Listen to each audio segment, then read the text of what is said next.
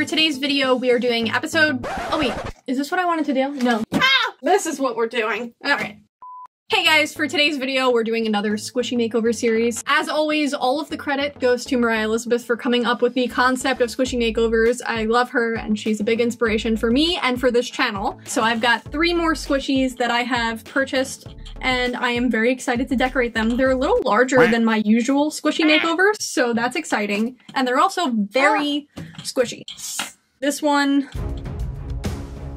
is, is having some balance issues, but the rest of them, the other two stand. I do have some exciting news that I forgot to mention. I did open a P.O. box because people have been asking me to. So yes, you can now send me your squishies. I will unbox them on camera and use them in future squishy makeovers. This is not a mandatory thing or anything like that. I just wanted to let you guys know the P.O. box is there and if you would like to send something, just let me know and you can send something. So let's get started giving these guys a makeover.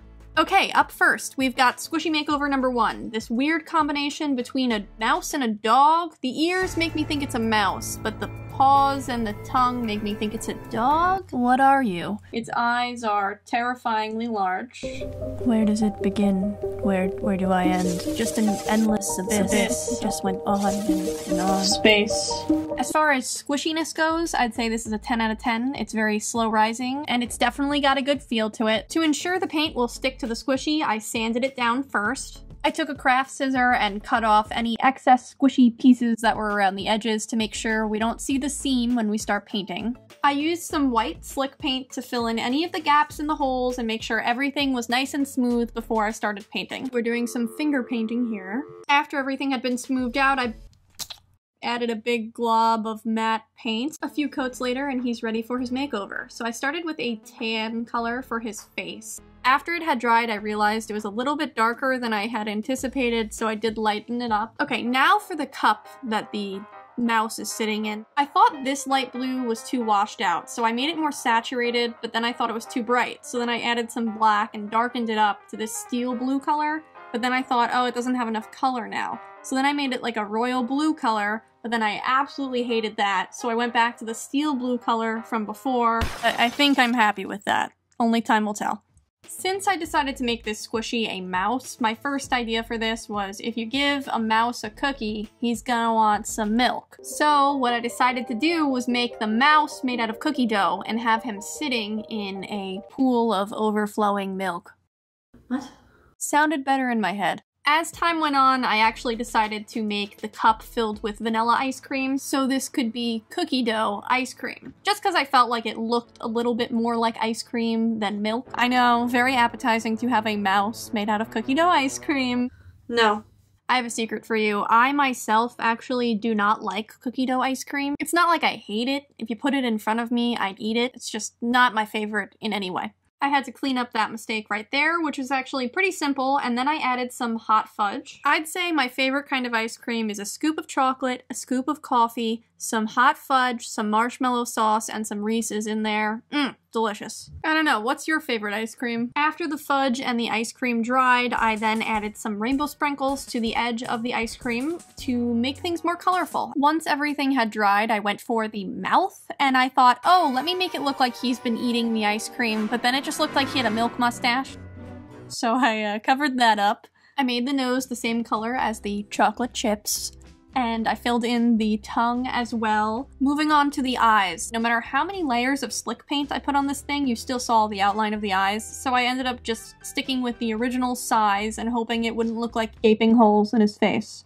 Just because I feel like ice cream cups usually have some kind of design, I added a light blue stripe to the cup. So here's the thing about the eyes. Off camera, I accidentally stuck my thumb into the left eye while it was still drying. I got acrylic spray in my left eye and I kept layering the chocolate on top of it, which was, in hindsight, a mistake. So when I look at this eye, I just feel disappointment. So at this point, I felt like the cookie dough mouse was just missing something, and I wanted to make his ears have some puffy paint on it to make it look like he's just in a pile of ice cream, you know, like he's really getting messy. We're getting really crazy here.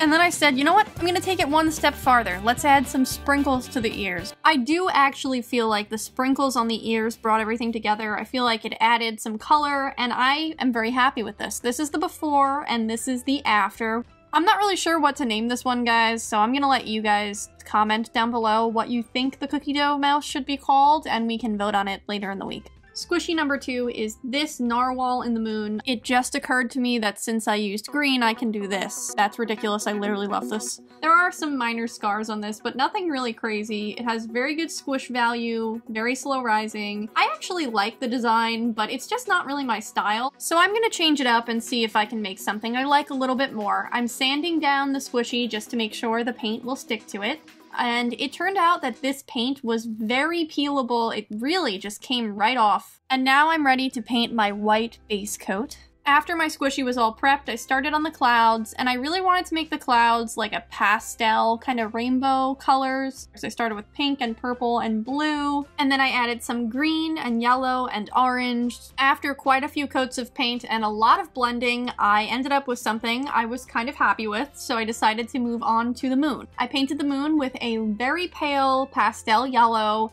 I was going for a very pastel theme for Noreen, the Narwhal. Yep, that's her name. I just decided. I decided to paint Noreen blue, and it's a little bit darker than the other colors, but I think it's okay. I covered up any mistakes I got onto the moon, and this is what we're working with for Noreen's body. I started on the eyes by creating a very messy outline, which I then covered up with some white and left a very thin gray outline for the eyes. I made sure Noreen's iris colors were rainbow colored, and I used the same rainbow uh, pastel colors that I had used in the clouds. I added some white highlights to the eyes, some eyelashes to the um eyes. a soft smile to her mouth, and then two eyebrows and some cheeks. And then I also decided to add some twinkly stars to the moon. I actually really like this one. I know it's a lot different from the original, and I kind of liked the original, so I'm a little bit hesitant to say it's better, but it is different and it's definitely more in my style. Last but not least, we have squishy number three. Now this is the weirdest of all of them. This one, I don't know what, I don't know what this is. It's a flying away because it has some wings, but what is this? It's a hamster or a cow? There's a heart on the forehead, which I actually kind of like, and it does have very good squish value, so we got a 10 out of 10 on that front.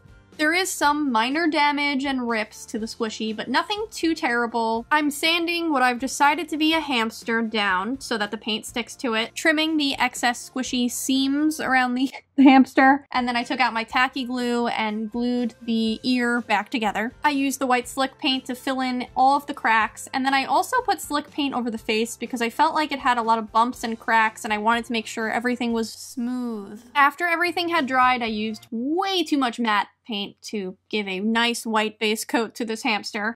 The hamster was prepped, but I was not satisfied. Wings, no wings. Wings, no wings. No wings.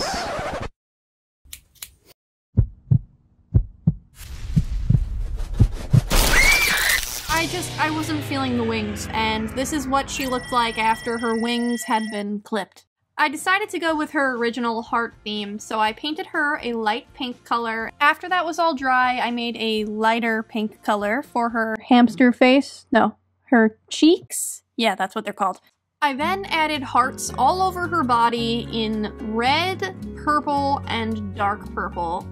Yeah. And I like this a lot, so I'm, I'm clearly going for a Valentine's Day hamster. It's very realistic. They exist in the wild. You guys, you gotta look it up, okay? After painting the bow purple, I then moved on to the eyes, which I filled in white and then tried to do the mouth and the nose. I decided to make the eyes a dark purple color, and then I filled in the pupils with this gray color, which looks awful and I will fix that, but while I'm contemplating how bad it is, I fixed the nose right there. I added some dark purple to the toes and then moved back to the eyes. I went back in and made the pupils black, which I think made everything look so much better.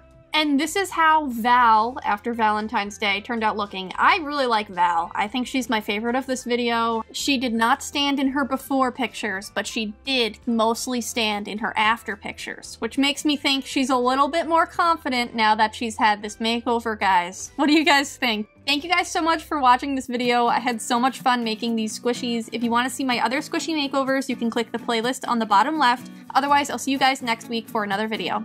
Bye! Ah!